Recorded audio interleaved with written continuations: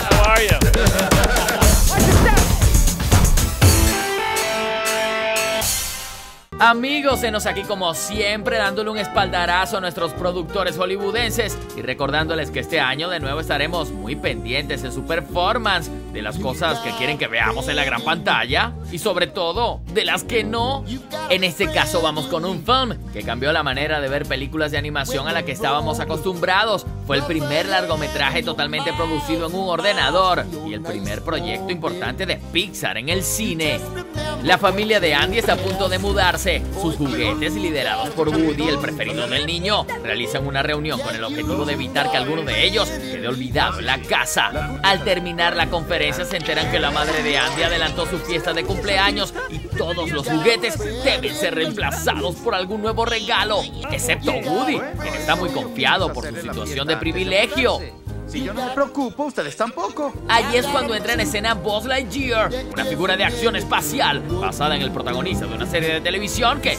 ¡Hey! Si quieren más información, alquílenla o compren la original. Nosotros vamos a la acción.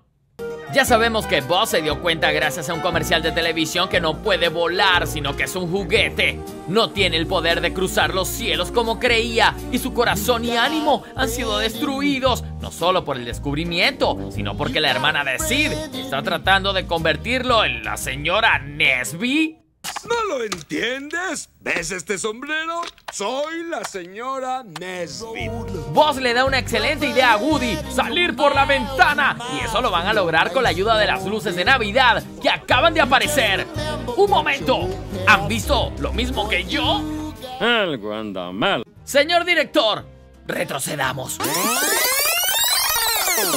Buzz y Woody han sido secuestrados por Sid, el terror de los juguetes, y la hermana de este tiene una increíble idea, darle un uso femenino al defensor de la galaxia. Menos mal que nuestro valiente vaquero va a su ayuda y logra distraer a la chica. Hannah. Hannah. ¿Mamá? Disculpen, señoras. No tardaré. Sacar a Buzz de esta depresión no será una tarea fácil, pero Woody nunca pierde la esperanza. Él desea estar en casa con sus amigos y sobre todo con Andy, así que seguirá buscando la forma de salir de este centro de torturas. Buzz le recuerda que existe la ventana y de repente, de la nada, aparecen las luces de Navidad que serán usadas para tratar de salir del lugar. ¡Oh no! Buzz, Woody, John Lasseter, Bonnie Arnold y el resto del equipo de producción ¿Quién colocó esto aquí? Sabemos que los juguetes se mueven por sus propios medios, pero ¿no les parece exagerado que las luces del arbolito también lo hagan? Toy Story, una increíble aventura en la que han trabajado grandes amigos con quienes hemos conversado en infinidad de oportunidades. Pronto en su tercera salida al aire y en 3D. No te la pierdas, será increíble. Hollywood, you got a friend in me. No lo olvides. Seguimos con más de 35 milímetros. Bitácora espacial. Uh, sort of. Amy Adams sueña con una propuesta y en este film la conseguirá. Get ready to lose your mind. Guess who I saw walking out of the store carrying that little red bag? Oh my god. So this is for you. Okay, hold on. We gotta work on your surprise face. Ask me, ask me. Will you marry me? Bigger eyes? Oh, me? The good news is you have time to practice between now and then. They're earrings. Yeah. A little something to keep your ears warm while I'm in Dublin. It is leap year, you know. In Ireland, a woman can propose to a man on the 29th of February. Dad, I'm not going to Dublin. Oh! I'm not gonna die without getting engaged. Ladies and gentlemen, we are diverting to Cardiff, Wales. Wales? Hello. I need a taxi to Dublin. I'm your man, missus. I'll drive you to Dublin. Thank you.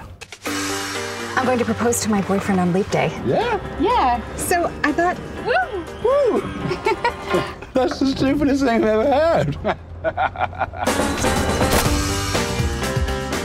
Próximamente, Hi, Cass. Let's move. Comes as a real shock to find out that you speak fluent cough. la chica que siempre tiene el control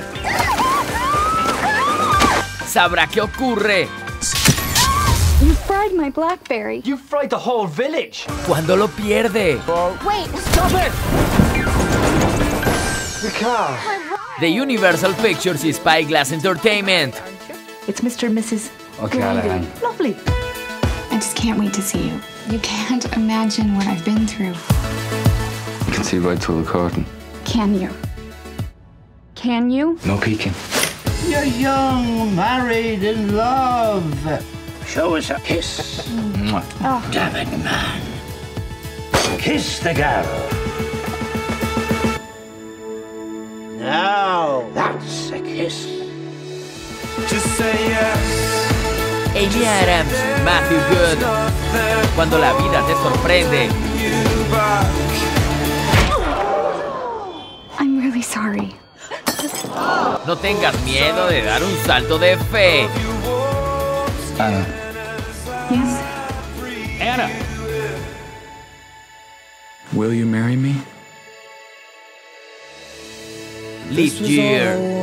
J.J. Abraham se encargará de producir la adaptación cinematográfica de la aclamada novela de Colin McCann, Let the Great World Spin. Según The Hollywood Reporter, McCann también se va a ocupar de escribir el guion de la película, mientras que Bad Robot, la compañía del realizador de la exitosa Star Trek, se encuentra detrás de este proyecto y como tiene un acuerdo con Paramount Pictures, es obvio que lo va a desarrollar para este estudio. El libro está inspirado en Philippe Petit, un funambulista francés que el 7 de agosto de 1974 cruzó caminando sobre un cable el espacio entre las torres gemelas del World Trade Center. A este paso Steve Carell no le va a quedar tiempo ni para respirar, pues según Variety, Warner Bros. ha pagado alrededor de 2 millones de dólares por un guion de Dan Fogelman, el mismo de Bolt, Fred Klaus y Cars, que el estudio espera se convierta en una película al servicio del mencionado Carell. El actor va a producir la cinta que aún no tiene título junto a Vance DeGeneres y Charlie Hartstock a través de su compañía Carousel Productions e Industry Entertainment, por lo que se ve su tono será muy similar al de Love Actually, encontrándonos con un papá que ha de enfrentarse a una crisis conyugal al tiempo que intenta manejar la relación que mantiene con sus hijos.